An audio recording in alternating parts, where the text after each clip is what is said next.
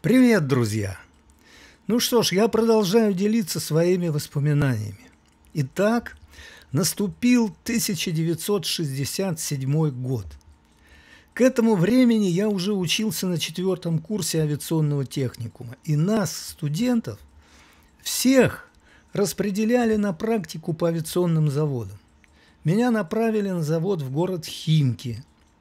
Я продолжал усиленно заниматься музыкой, в основном джазовой. А, был один интересный случай. В техникуме мне предложили собрать коллектив музыкантов для того, чтобы играть на танцах в зимнем спортлагере Апалиха на новогодние каникулы. Ну, я подготовил состав музыкантов, и мы поехали. Это было в начале э, января. Приехали, порепетировали и приступили. И вот э, к нам в домик повадился паренек. Он на два курса был младше, то есть учился в нашем техникуме. Звали его Толя. Как позже я узнал, это был Толя Алешин, Анатолий Алешин. Тот самый сейчас уже довольно знаменитый а, в музыкальных кругах, которого все знают по группе «Аракс». А до этого он работал в вокально-инструментальном ансамбле «Веселые ребята». Кстати, я делюсь с вами такими воспоминаниями только для того, чтобы приоткрыть закулисную жизнь знаменитостей с точки зрения правдивой истории. Иначе просто никто ничего не узнает об этом. Ну так вот, Толя приходил к нам, как обычно, э, садился на кровать, брал гитару и начинал себе так тихо под нос, таким гундосом, звуком, голосом Значит, uh, I can get no satisfaction. Ну, я не знаю, ну вот как-то так это звучало. В общем-то, на это никто из нас внимания особого не обращал. А вот наш гитарист Олег Трегубенков, а, ну, наверное, его это очень достало. И как-то вечером мы в очередной раз идем на танцы, играть эти танцы, а Алешин идет за нами сзади – и вдруг Олег мне говорит, ну-ка, подержи гитару. А Олег был такой здоровый, рослый парень. И он, значит, неожиданно так схватил этого Толю и запихнул его в сугроб по самой некуда. А, ну, в общем-то, вот, знаете, там все дорожки были расчищены, а сбоку были огромные снежные сугробы. С тех пор Толя Алешин просто исчез. Ну, не было его видно на горизонте, пропал.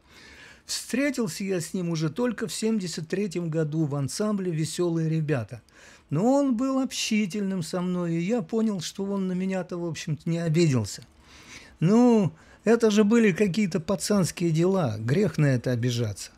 Но что интересно, я был приятно удивлен, когда услышал, как он поет-то на самом деле.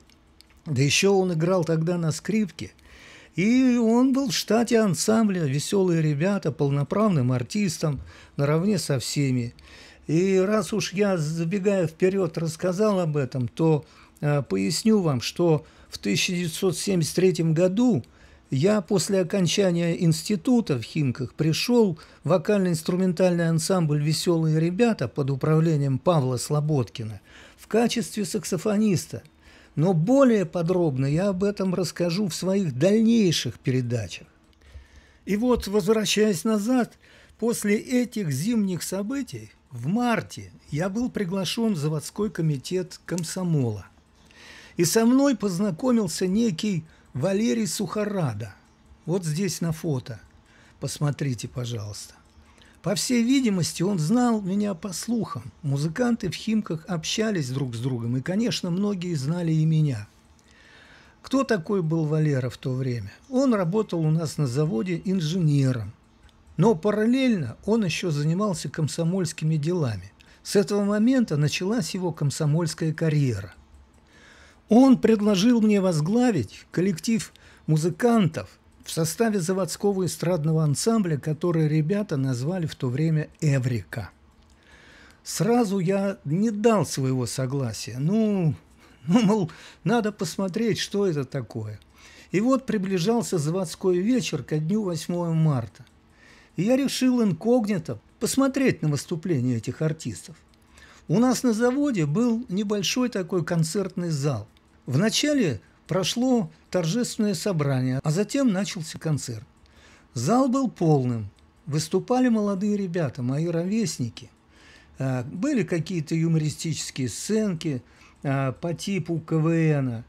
Вы знаете, КВН, кстати, в то время был не просто популярной, а сверхпопулярной телевизионной передачей. И Валера Сухарада, а с ним и Анатолий Трушкин, и Анатолий Королев из коллектива Лучерама. Это как раз все те актеры-студенты, а, из телевизионной передачи КВН, которые, а, в общем-то, они заняли первое место в 1966 году на всесоюзном телевидении.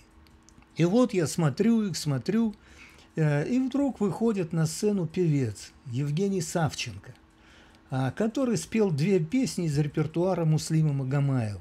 Если кому интересно, я даю ссылки на эти песни в описании. И вот в этот-то момент как раз мне все это очень понравилось. Здесь мои сомнения отпали в сторону. А, и сразу после окончания концерта я подошел к Валере и познакомился с остальными ребятами. Ну, прозвучал дружный призыв, клич «По рублю!» И все мы после концерта собрались на квартире за праздничным веселым столом, где были э, веселые шутки, песни под гитару. Здесь были все, наверное, ребята, человек 30, с которыми мне предстояло работать. Словом, э, о том, что было дальше, я расскажу в следующем выпуске журнала. Так что я думаю, э, это должно быть всем интересно. Ну что ж, я как всегда всем напоминаю, что мои новые фильмы смотрите по вторникам и пятницам каждую неделю. А, смотрите, слушайте, подписывайтесь на мой канал, делитесь с друзьями в разных соцсетях. Многие из вас уже знают мои плейлисты, но это в основном по вторникам а, журнал Music Sky – я стараюсь его выпускать по вторникам, но, вы знаете, иногда бывает, что и в понедельник, и в среду, то есть в первой половине недели. А что касается второй половины недели, то это обычно по пятницам идет уже музыкальный мой материал. Это мои какие-то авторские песни, это песни англоязычного репертуара, в общем, и инструментальные пьесы также, саксофон и все такое прочее. Ну что ж, друзья, на этом я заканчиваю. Увидимся и услышимся. Пока, пока, пока.